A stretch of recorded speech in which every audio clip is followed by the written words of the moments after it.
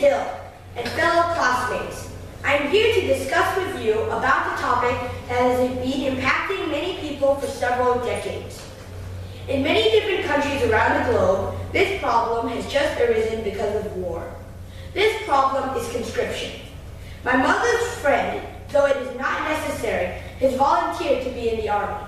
My grandfather has stayed in the army, even though he was allowed to leave it. I'm looking for people just like this, who want to volunteer to be in the army instead of being conscripted. In many different countries around the world, such as Russia, Israel, Norway, and many more, have conscription. All continents besides Antarctica have conscription in one way or the other.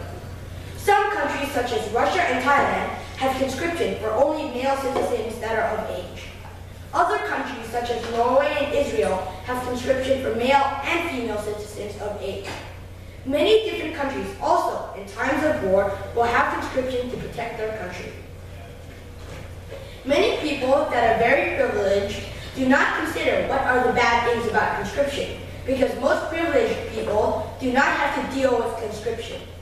Many countries that have conscription throughout war times and peace times usually are the countries that don't have the best economies.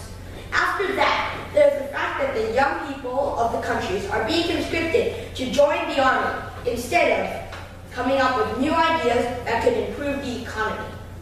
If you look at a list of countries that have conscription, you will see that the most of the countries on the list don't have the best economies.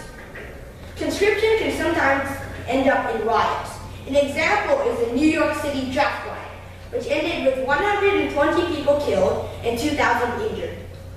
We could have many riots that would be worse than the New York City draft riot because of more modern weapons. Who knows what hap will happen if a certain type of thinking goes viral in a matter of seconds. We could have many amazing, amazing inventions that will change our world as we know it and keep people safer as well as have access to more information if we stop conscription. We could explore many different planets and could stop all of the bad things about our current world. Get your representatives in the United Nations to vote against conscription. If you live in China, France, the United Kingdom, the United States of America, or Russia, please try to convince your representatives or ambassadors not to veto against conscription.